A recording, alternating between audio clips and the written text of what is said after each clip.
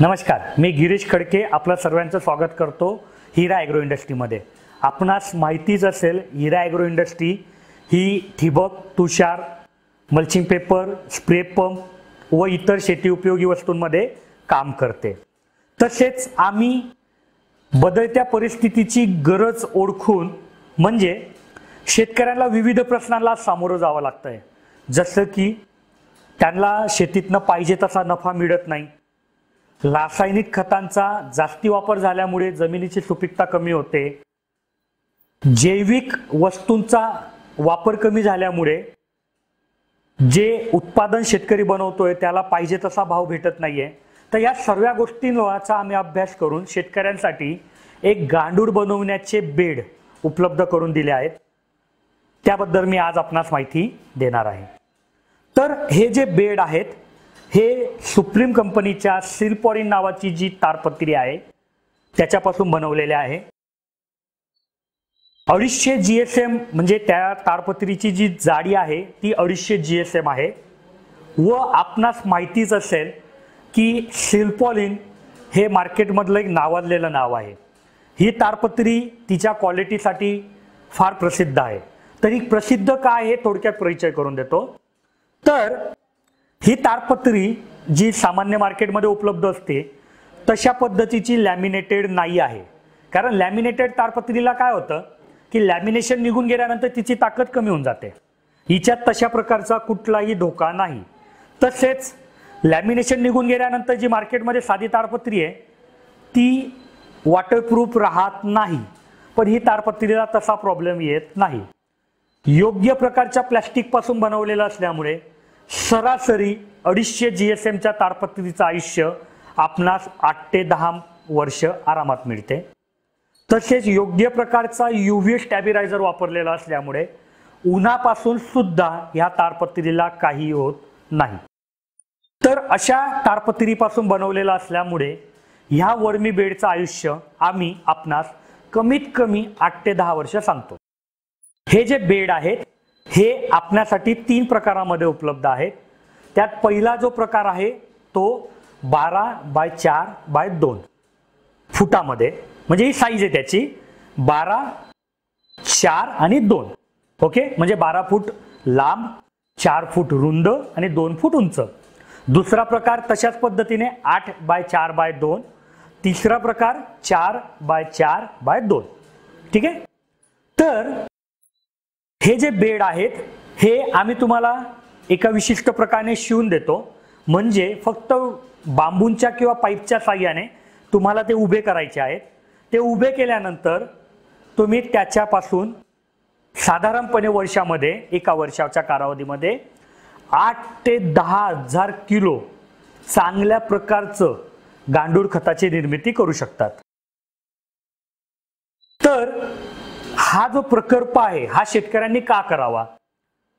नुसता शेतकऱ्यांनी नाही आम्ही तर त्याच्या पुढे जाऊन शेतकऱ्यांनी त्यांच्या शेतातला चांगल्या प्रकारचं खत उपलब्ध व्हावं म्हणून करावा. त्यांच्या शेतातची जी उत्पादन खर्च आहे तो कमी व्हावा. म्हणजे त्यांना जर घरगुतीच खत उपलब्ध झालं तर त्यांना रासायनिक खताचा कमी उपयोग करावा लागेल. उत्पादनात वाढ होईल म्हणजे त्यांचं उत्पादन वाढेल म्हणून करावा. तसेच ज्या शेतकऱ्यांकडे जास्तीचे मनुष्यबळ उपलब्ध आहेत त्यांनी अशा प्रकारचे बेड लावून जास्तीचं जैविक खत बनवून आपल्या पंचक्रोशीत जर ते विकलं तर त्यांना एक शेतीमध्ये जोडधंदा सुद्धा उपलब्ध होऊ शकतो. हे फार महत्वाचं आहे. तसेच विविध ज्या संस्था आहेत मग त्या शैक्षणिक असतील काही उद्योजक असतील काही सामाजिक संस्था असतील की ज्यांच्याकडे एक मोठ्या प्रकारची जमीन उपलब्ध आहेत आज आपण कुठल्याही गावात गेले तर चांगले चांगले कॉलेजेस आहेत की ज्यांचा कॅम्पस काही एकरचा असतो. तिथे त्यांनी काही झाडं लावलेले असतात त्यांच्यापासून काही जैविक वस्तूची निर्मिती होत असते. तशा लोकांनी जर हे बेड लावले तर त्यांना सुद्धा एकतर ते जे रोजचा काडी कचरा जमा होतो त्याच्यापासून सुकता भेटेल त्याच्यापासून मुक्तता भेटेल. तसेच त्यांच्यासाठीच चांगल्या दर्जाचे गांडूळ खत सुद्धा उपलब्ध होईल.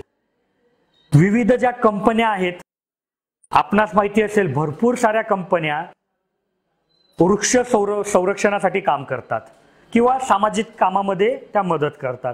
त्यांनी जर अशा प्रकारचे बेड लावले तर त्यांच्या ज्या आवारामध्ये विविध प्रकारचा काळी कचरा जमा होतो त्याच्यापासून त्यांना मुक्तता होईल. आता काही दिवसापूर्वी आपण बघितलं असेल की महाराष्ट्राच्या औरंगाबादमध्ये कचऱ्यावरनं फार मोठं भांडण झालं होतं. तर ज्या मोठमोठ्या सोसायट्या आहेत रहिवासी सोसायट्या त्यांनी सुद्धा असे बेड लावले तर त्यांनाही ह्या काळी कचऱ्यापासून कायमची मुक्तता भेटेल व चांगल्या दर्जाचं खत त्यांना उपलब्ध होईल. तर आता आपणास सांगितलं की याचे फायदे काय? आता हे गांडूळ बेट उभे कसे करावे?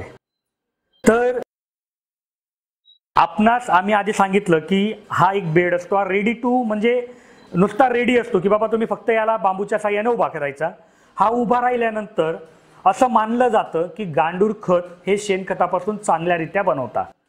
शेणखत नसेल तर कुठल्याही प्रकारचं जे आपलं किचनमधलं वेस्ट असतं किंवा कुठल्याही नैसर्गिक जे वेस्ट असतं.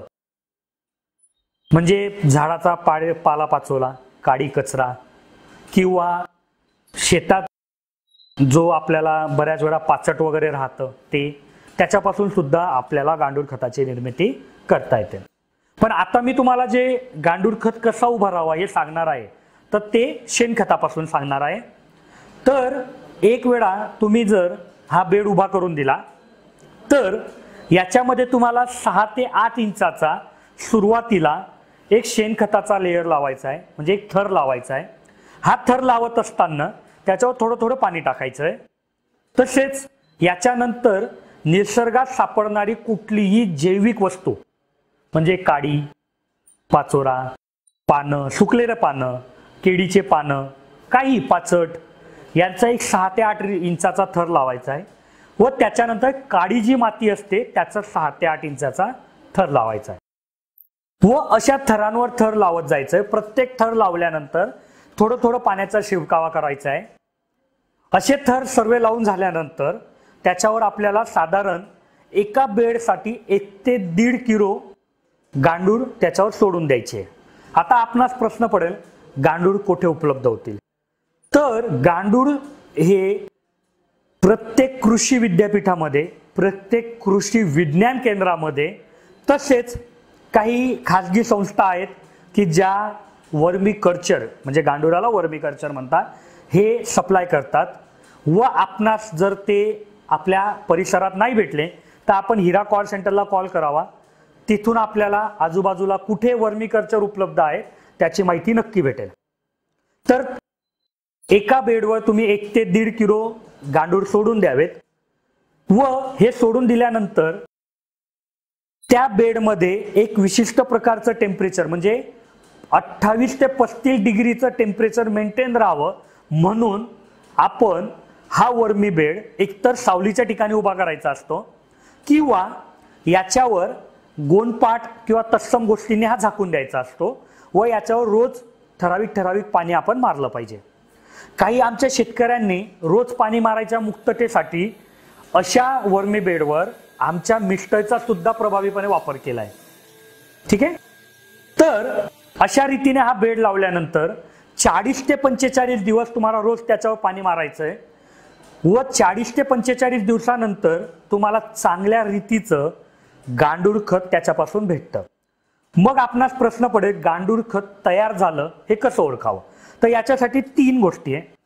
एक गोष्ट की तुमच्या बेडमध्ये जे काही गांडूळ आहेत ते वरच्या बाजूला जमा होतील. का जमा होतील? कारण खाली जर त्यांना जे खायला अन्न आहे ते संपलं.